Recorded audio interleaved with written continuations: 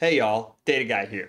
Now, with the expansion of AI, ML, and really just vast amounts of data needing for processing in today's modern data landscape, I thought it was appropriate to make a video covering what a data lake is. Um, and so data lakes have become more and more prevalent over the past few years. Um, and they're really important because you know they're able to store large amounts of unstructured data, like the type of data you'll need for large language models um, and things of that similar ilk. So today I'm to be diving through exactly what a data lake is, some of the pros and cons of using one versus other data storage solutions, and then talk about some of the common providers uh, for data lakes so you have an effective toolkit to choose whether or not you need a data a data lake for your particular use case, and then where you should go to go and get a data lake that fits with your needs. So without further ado, let's get into it. So just starting with kind of what a data lake is by strict definition, a data lake is a centralized repository that is designed to store, process, and secure large volumes of data in various formats, including structured, semi-structured, and unstructured data. And what distinguishes it from a traditional data warehouse like a Snowflake uh, is that it doesn't store data in a hierarchical format. Uh, it requires data to be cleansed and structured before storage. Uh, so data lakes allow the storage of raw data in its native format. So I can just toss a video, a call, a uh, computer log, all into the same data lake. Uh, and this approach offers flexibility in data management, enabling businesses to leverage big data technologies for advanced analytics, machine learning models, and real-time uh, analytics applications by querying that data at will. Um, so that's kind of just like a high level what a data lake is. So now what do you actually use a data lake for? So the initial main use case for data lakes were big data analytics. Um, you know, as the explosion of kind of just social media, massive amounts of interactions, massive amounts of data around each person, and also just data around everything over the past, you know, decade or so. Data lakes are able to support the analysis of big data by giving you a scalable platform to store and analyze vast amounts of data on the petabyte scale. Um, so on a scale that really would be almost cost uh, prohibitive to run it in a normal database, database, data lakes are able to deliver on the promise of actually storing and analyzing all of your data because it's able to drive down the storage costs. Um, and then it also enables analysts to run really complex queries on data in its raw form, which can allow for more profound insights and discovery uh, because when you're analyzing the raw data, it hasn't gone through any cleansing processes that might have stripped it of any kind of unique features.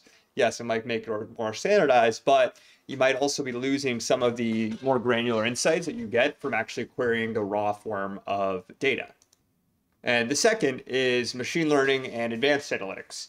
Um, so yes, now we have the great ability to store large volumes of diverse data, uh, but it is also is a really ideal environment for building and training machine learning models. Uh, you have all the data right there, ready to use in its raw format, untainted. Uh, you can easily split it into uh, training and testing data sets.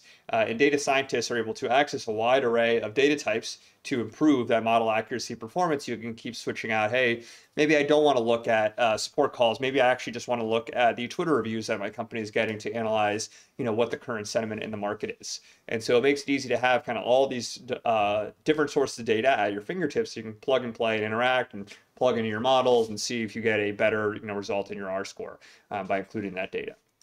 Then a third uh, use case is, and another analytics one, but this last analytics I promised, is the ability to do true real-time analytics. Um, a lot of times, and this is kind of see an example here, this is actually a Databricks diagram um, showing how to build a lake house where you have your data lake and then you also have a scalable compute engine like Spark or something uh, similar to actually be able to process and analyze that data as it comes in in real time. Uh, maybe you want to just take a slice of life and you want to look at all the data over the past day. Um, and this allows you to make quicker decisions based on the most current information because you're taking that raw data just as it comes in and then analyzing it. Um, and this capability is really crucial for applications that require more immediate insights, like something like fraud detection, or an online recommendation engine like an Amazon or a Netflix. Um, having the ability to kind of query all of this historical raw information enables you to give those really uh, accurate real-time insights. Um, and then the fourth one here is also data discovery and visualization. Um, if you store the data in its raw, unstructured format, data lakes allow you to facilitate data discovery um, and allowing businesses to, similarly to you know how it enables analysts to uncover new insights by you know querying and subbing out different data sets. Uh, you're also able to just layer a data visualization tool directly on top of your data lakes and help you identify patterns, trends, relationships within your data at a more macro level. So saying, hey, you know, while this is well, you know, maybe your analyst level is just plugging in different data sets into an ML model. Uh, maybe at a more macro level, you're looking at, hey, you know, how has the uh, volume of Twitter uh, requests that we're getting within a week correlate to the amount of actual uh, new trial signups we have for our product, and kind of looking at the high level correlations between those two different uh, pieces of data. Um, and then compounding all of those previous uh, use cases is cost effective data storage. Data lakes often leverage cloud-based storage solutions, uh, you know, that provide scalability and cost effectiveness. And so businesses are able to store large volumes of data without a massive upfront investment in infrastructure because you can just keep scaling and tacking on horizontal uh, data storage options instead of needing to have kind of a pre-built out-of-the-box solution that you invest a lot of time into building up and then you can actually send data into it. Data lakes allow you to start ingesting data at day one because all it requires is a subscription to some kind of data storage service like an S3, like an Azure Data Lake storage to actually begin uh, ingesting your data. So now that we know some of the different use cases for data lakes, let's take a look at the pros and cons of what a data lake can offer you to help you decide whether you should use one for your particular use case. So now the benefits of having a data lake are number one is scalability and flexibility. Data lakes are designed to scale horizontally, accommodating you know petabytes and even larger uh, sets of data from various sources. And this scalability ensures that as an organization's data footprint grows, the data lake can also grow with minimal disruption or manual intervention. And this flexibility to store data in any format, structured, semi-structured, unstructured, allows businesses to leverage all of your data without the need for extensive pre-processing. Uh, it also gives you much better cost efficiency. Uh, data lake solutions, especially those hosted in the cloud, follows a pay-as-you-go pricing model, so you're only paying for what you're using, which might be more effective than a traditional data warehousing solution. And it also stores your data in raw format, which eliminates the need for costly and time-consuming data transformations processes uh, before it can be stored and paying for the compute necessary to just process all of your data, since you're processing it for those analytics purposes as needed. Um, it also enables advanced analytics and machine learning, as we discussed previously, uh, by supporting the use of big data processing frameworks, machine learning algorithms directly on your raw data. And this capability is really crucial for people that are looking to gain competitive advantages through advanced analytics uh, in predictive modeling and real-time analytics applications by really giving you access to do those things where previously it, it might not even have been possible.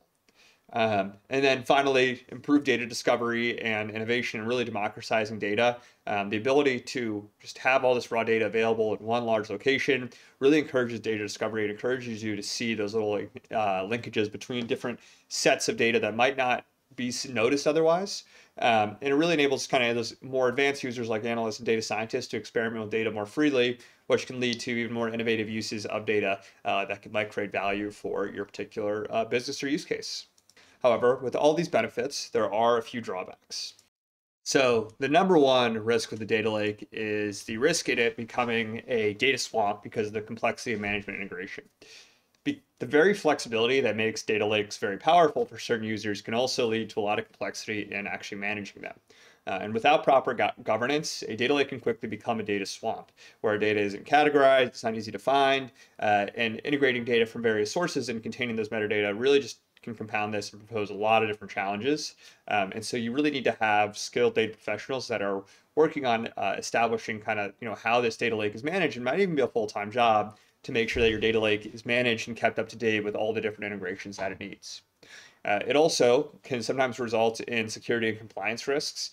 Uh, you know, if you're storing sensitive data in a data lake, you need to have really stringent security measures, especially if it's European customer data, um, and compliance with those data protection regulations. And the open nature of data lakes can make them vulnerable to breaches if they're not properly secured. Um, so that is another significant risk to kind of running a data lake if you're in, uh, you know, an industry like healthcare or like fintech services. Um, and then also require specialized skills, as we discussed. You need to really be well versed in big data technologies, data management practices, and analytics. And you need to just know all the different complexities that come with running a data lake to maintain one. Um, and then finally, just potential for underutilization. If you know it's unorganized, if you don't actually have a clear path for someone to get in there and actually get value from your data, you know, not you know bad navigation, it's just kind of going to sit there. Uh, it's going to cost a lot for the compute, and if no one's actually using it, your data is not providing any value, and it's just purely a cost sink for you. So you need to make sure that if you're going to go down this data lake path, you need, actually have a solid strategy for using that data lake uh, once it's in production. So now we've discussed the pros and cons of data lakes, let's cover a quick run through of the different providers of solutions you can use for a data lake. Now, first one that comes to mind that is just a strict data lake um, is Cloudera.